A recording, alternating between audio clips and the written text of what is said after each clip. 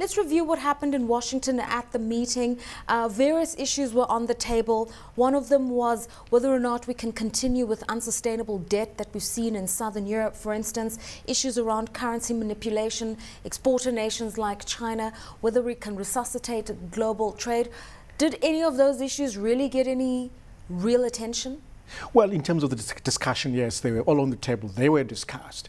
Uh, but, but, but for Africa, we, we, as Africans, we still remain bullish about the continent. Mm -hmm. That is still the best investment destination, uh, you know, in recent, recent times, frankly. Yeah. Uh, while some of the upheavals up north or in West Africa are there, uh, there are also opportunities. You know, it means that things will get even right. better uh, going, going forward. So, so, yes, I mean, one issue that could be a risk for Africa, even though we're bullish about it, is the issue of food prices, yeah. which we discussed. Yeah. and then the oil prices well. For net food importers, it is a risk. For yeah. net oil importers, it is equally a risk. But also we know that 60% of the food inflation is also right. through the oil price, the cost of fuel and, right. and transportation. The other issue, of course, is youth unemployment mm. and inclusive growth. That's a risk for, for Africa everywhere, frankly. Let's talk about this rising uh, threat of global inflation uh, that's been precipitated by rising oil prices and food prices. How much of a threat to global growth is this? Because apparently we now need to reforecast uh, growth figures. It, it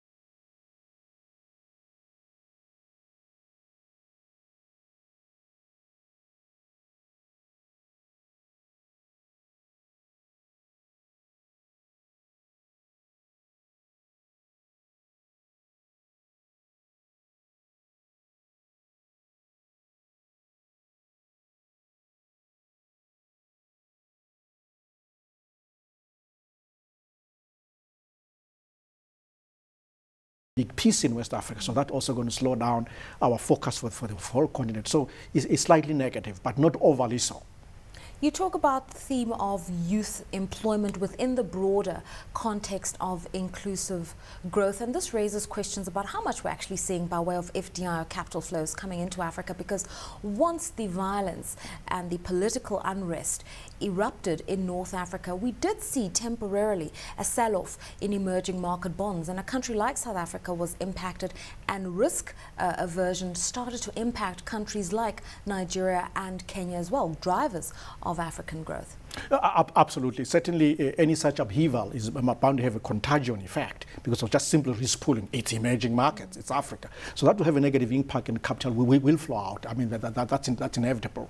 Um, uh, but, but going forward, my, my, view is that we need longer term solutions for this issue of youth unemployment. And the story, in my view, is entrepreneurship.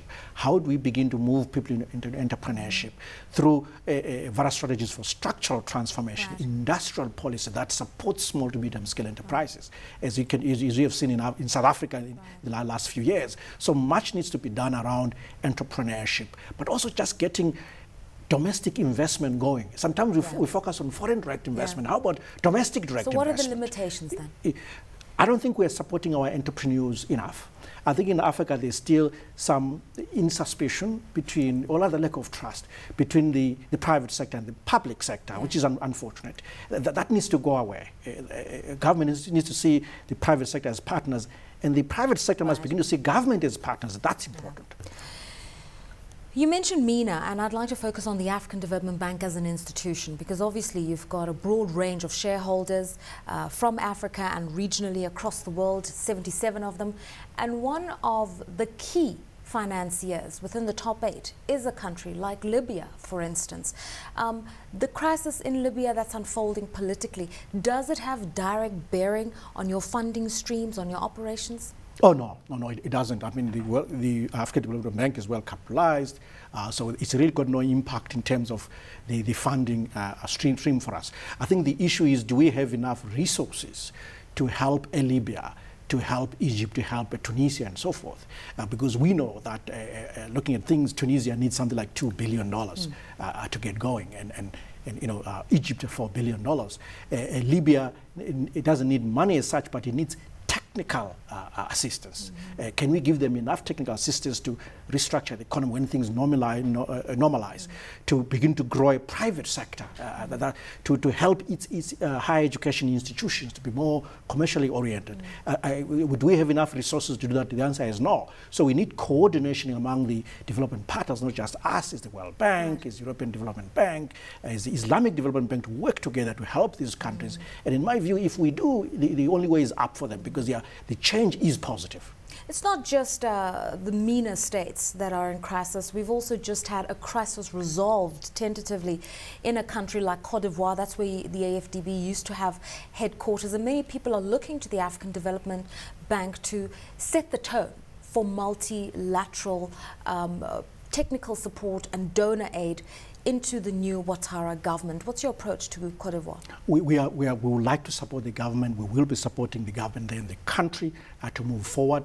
They've chosen a specific path. We never interfere politically or have an opinion politically, but we say as long as people have chosen a path, mm -hmm. they're sticking to international norms of running a country mm -hmm. and uh, treating its, its citizens uh, likewise, we will support it. We're ready to support uh, every cost in terms of right. budget support, infrastructure investment, supporting the private sector in, in what whatever form to make things work. It's, it's, an important pillar in West Africa.